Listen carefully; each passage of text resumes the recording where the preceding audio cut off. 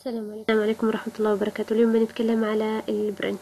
الآن أي برنامج يتم كتابته بأي لغة كانت في شغلتين أساسيتين تلاقيهم في أغلب البرامج اللي هي ال input الإدخال وال output اللي هي العرض يعني لازم تشوف شيء أو تدخل شيء.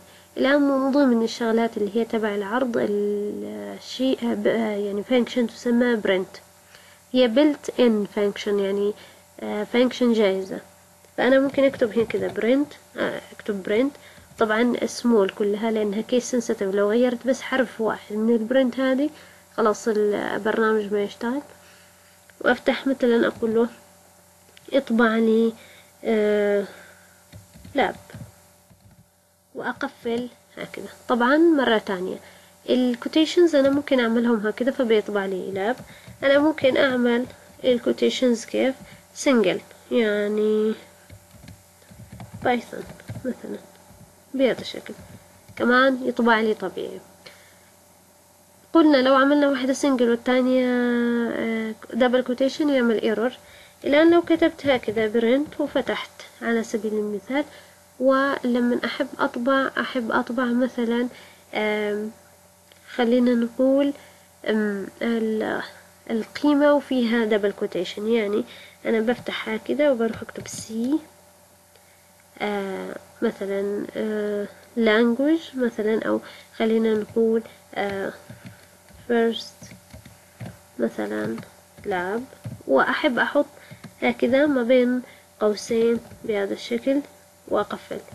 فهي بتطبع لي مع ال quotation لكن إذا واحد عمل هكذا print وفتح وعمل double quotation وبعدين عمل first بهذا الشكل lab وحط هنا double quotation تانية. هنا تحصل مشكلة. وعمل هكذا وقفل.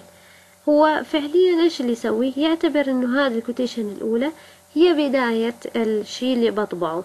وهذه ال quotation الثانية هي نهاية الشي اللي بطبعه. يعني هذا اللي ما بعد ال quotation هذا كله كلام فاضي اللي انكتب.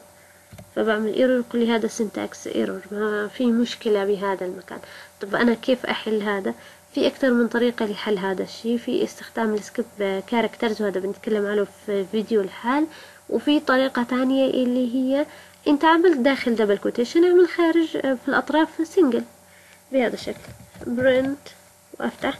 اعمل هنا single quotation عشان هو خلاص بيبدأ ب single فبيستنى تاني single quotation عشان يقفل. فاكتب first lab وأحط إيش؟ double quotation بهذا الشكل عادي أموري طبيعي للآن طبيعي. وأروح أقفل بعدين ب single هكذا. هو الآن؟ أول واحدة single فبيدور تاني واحدة single ال double هذا اللي في النص لن يعيرها اهتمام في طريقة تانية قلنا اللي هي استخدام ال escape sequence بس هذه بناخدها يعني بفيديو لوحده. هذه الطريقة. طيب أنا ممكن أعمل متغير وأطبعه. يعني أروح أقول له X يساوي لي اثنين وأقول له هنا print لمين؟ لقيمة ال X. لما أكتب له هكذا خلاص أنت تطبع قيمة ال X اللي هي كم؟ اثنين بيطبع لح يعني في شغلة بس واحد ينتبه إنه لو أنا كتبت print وفتحت وعملت له هكذا ال X داخل أقواس. هو هنا بيطبع حرف ال X مش القيمة تبع ال X. أنت حابب تطبع قيمة شيء اكتب اسم المتغير من دون. يعني أنت هنا الآن حابب تطبع قيمة الاثنين. بكتب اسم المتغير من دون. اكتب له X اسمه المتغير X طبع لي X تمام؟ آه حابب تطبع آه ال character X لازم تحطه بين quotations هذا بالنسبة لي ال print في شغلة من ضمن الشغلات اللي هي الناس ممكن تعمل فيها أخطاء أو يحصل فيها أخطاء في ال print إنه يعمل space بالأول بعدين يروح يكتب print ويحط مثلا آه يقول له اطبع لي مثلا آه قيمة آه أنا ممكن أعمل هكذا. الفكرة. هو يطبع الآن مش الرقم اثنين هو يطبع الشكل اثنين. ياخده كحرف اثنين مش كرقم اثنين. واعمل هنا انتر يقول لي ايرور ليش؟ لأن أنت عامل مسافة. المسافة هذه مشكلة الآن. لا أنت متعملش مسافة. أنت تكتب على طول هكذا.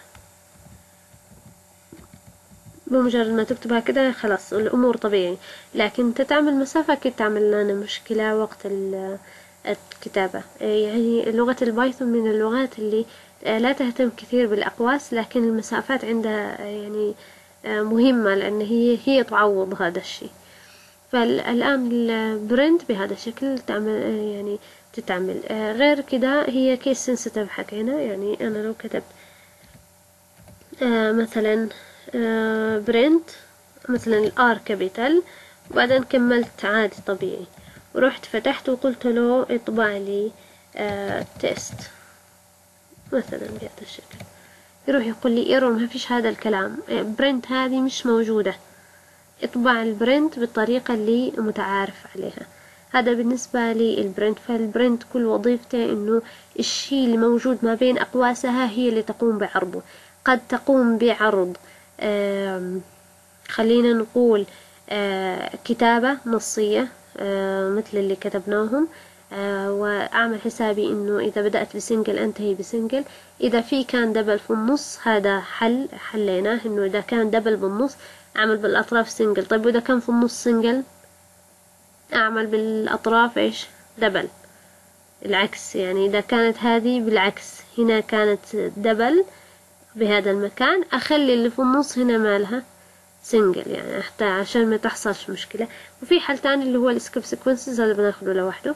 آه ممكن أحط داخل ال print آه اسم متغير مثل X عملنا له print X فعطى ال value تبع إكس ممكن أحط expression print بهذا الشكل. إيش إيش أقول له؟ حط ال X زائدا. أنا أحب إنك تطبع لي هدول. يروح يطبع بشكل اعتيادي طبيعي. بهذا الشكل. أنا ممكن طيب لو كتبت هكذا print وحطيت له أربعة كده مباشرة وقلت له اطبع لي يطبع لي أربعة طبيعي. بس أربعة كإيش؟ ك value كرقم كعدد يعني واحد اثنين ثلاثة أربعة أربعة. لكن لو حطيته داخل quotations خلاص أنت ألغيت موضوع إنه يطبعه كرقم هو يطبعه كشكل. هو شكله أربعة. بس مش ك value هذا بالنسبة لل print هي built in function حتى تعمل لي output للشغلات اللي أحب أقوم بطباعته.